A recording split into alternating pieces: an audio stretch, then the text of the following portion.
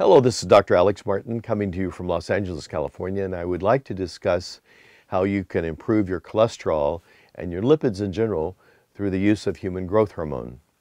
How does that work? Human growth hormone is known to increase met- metabolic rate, to speed up metabolism, and therefore we're able to metabolize fats and lipids more effectively. Uh, this doesn't mean that you can go onto a high fat diet if you're on human growth hormone, but it does mean that if you will remain on an effective and healthy diet, you should see a, a, drop in your cholesterol and your triglycerides within the first six months to a year of using uh, human growth hormone.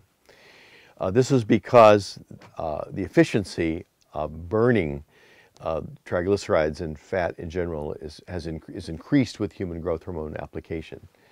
This is a very important uh, tool and a way to remember how uh, you can deal with uh, this issue of, of, hypercholesterolemia.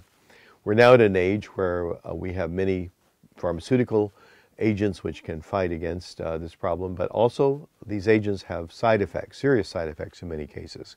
We know that human growth hormone has a minimal uh, issues as far as side effects go and it's far safer. So we urge you if you have problems with hypercholesterolemia, hyperlipidemia as we call it, triglyceride elevation, and you're not having good luck at bringing it down, you should contact us and let us do an evaluation for this problem. This is Dr. Alex Martin. Thank you.